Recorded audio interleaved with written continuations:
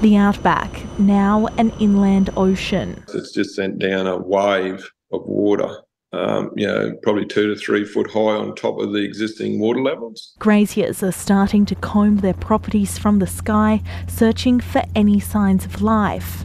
Some estimate they've lost 10,000 head of cattle. Look, there's a couple of paddocks there where there's absolutely nothing left, you know, so we're, we're hoping that they do show up somewhere else. But it could be weeks until water recedes and the full extent of the disaster is realised. I'm expecting the further you go north, the, the worse the story is going to be. River systems at Burketown have peaked. It's just quite devastating um, to see that this is occurring and that you know people have to start from scratch almost well completely. Further south at Gregory, more devastation.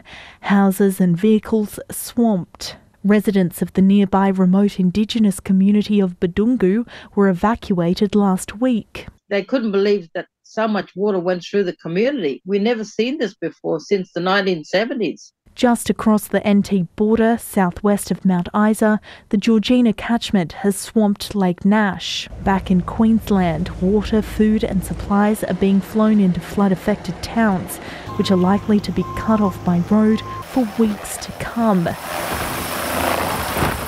Burketown residents who've evacuated to Mount Isa won't be able to return home for two weeks.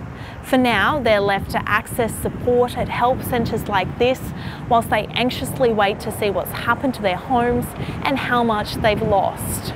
But among the loss, signs of hope. This little fella plucked from flood waters. No surprise, they've named him Lucky. Julia Andre, ABC News, Mount Isa.